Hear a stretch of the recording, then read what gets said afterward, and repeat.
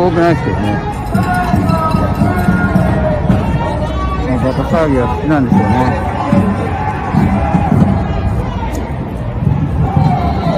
でもなんか動きはどうも組織的に動いてますよね。どう見ても。自転車体とか車とか全部ついて。初めてブラックマターのデモを見ました。グランドパークアベニューのグランドにぶつかるとこなんで、グランドステーションにぶつかるとこなんで、